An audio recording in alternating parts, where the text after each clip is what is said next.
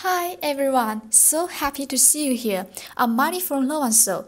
In order to increase our motivation, collaboration, creativity, and inspire the new generation to get creative with coding, programming, and digital technology, we have made lots of creations based on microbit with tutorials, from very basic controller to the robotic one with high challenge.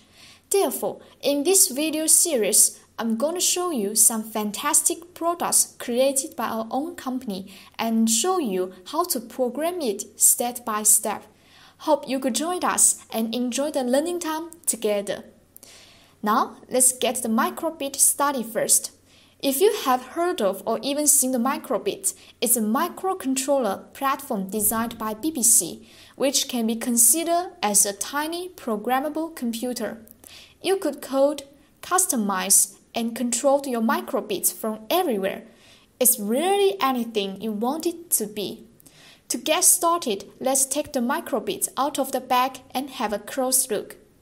On the front, you will see Wi-Fi graphic LED screen with these two buttons. You can see the pins over there 0, 1, 2, 3V, which stands for 3 volts, GND, which stands for ground, Put board over, you will see the microcontroller right here. At the top, you will find USB port which can send a program from our computer to the microcontroller. This is reset button, a reset button that we can push to restart the program running on the microbit. The port here is for plugging the battery which makes the microbit become a little more portable. Here are the electronic parts with high precision. Like this is electronic compass, it will help us find the north. And a accelerometer, it can let us know which way is down, or if the ball being jostled. So So this is the basic introduction of the microbit.